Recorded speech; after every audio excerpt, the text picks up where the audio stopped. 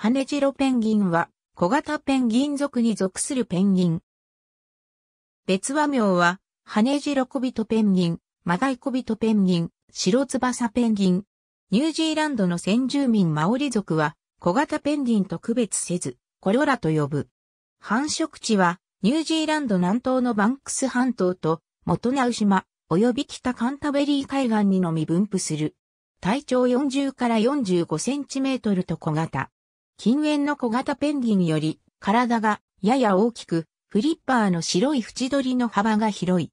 生態も小型ペンギンに似ており、明け方に海へ出て日没後に陸に上がる。上陸に適した暗さになるまで沖合で群れを作って待つ性質がある。繁殖期間は小型ペンギンよりやや短く、産卵は7月から12月にかけて、ほとんどは8月から11月に行われる。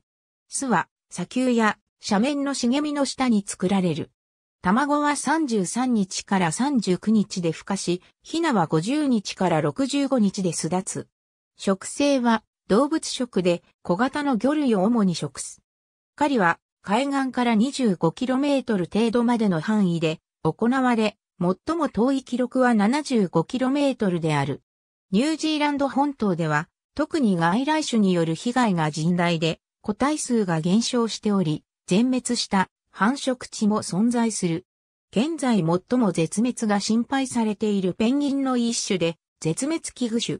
学者によっては本種を小型ペンギンの亜種とする説もあるが、ニュージーランドの専門家の多くは、小型ペンギンとハネジロペンギンは異なる種であると主張している。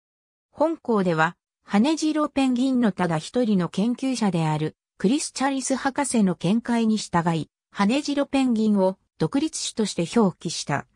羽白ペンギン星崎電気公式サイト。